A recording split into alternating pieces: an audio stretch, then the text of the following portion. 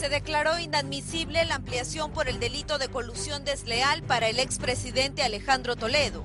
Con esta decisión de la Sala de Apelaciones, se continuará con el pedido de arresto con fines de extradición solo por los delitos de lavado de activos y tráfico de influencias. Toledo Manrique continúa prófugo de la justicia y con dos órdenes de prisión preventiva por el presunto cobro de coimas para favorecer a la constructora Odebrecht en la licitación de la carretera interoceánica sur. Este caso, en mi concepto, es el más avanzado de todos los procesos anticorrupción en el Perú. Eh, tenemos prácticamente, absolutamente todo el círculo cerrado con la colaboración eficaz que viene dando el señor eh, quien es el que prestó el aporte y colaboración para eh, que el dinero eh, llegara a manos de Toledo. Tal y como se muestra en este documento, se lee uno de los argumentos que la primera Sala Penal de Apelaciones Nacional detalla para la nulidad del pedido. El delito de colusión y el delito de tráfico de influencias constituyen tipos conductuales diferentes, no habiendo sido el primero materia de requerimiento de prisión preventiva.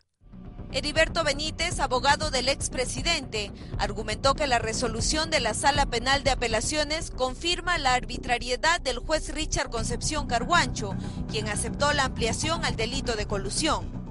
Lo que pasa es que la defensa quiere aprovechar estos eh, los diferentes criterios que tienen los magistrados sobre la aplicación de la norma para hablar de una supuesta falta de imparcialidad y que eh, eso daría lugar a un, a un pedido de eh, recusación contra el juez Carguancho, como ya lo ha planteado.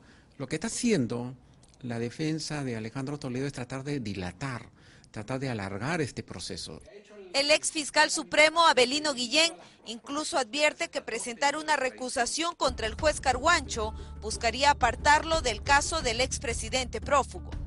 Toledo se basa en una supuesta falta de imparcialidad y, está planteando el retiro del señor Carguancho en la investigación del proceso. Esto significaría eh, una demora muy larga en el proceso, porque el nuevo magistrado que asumiría este proceso tendría que conocer todo el expediente.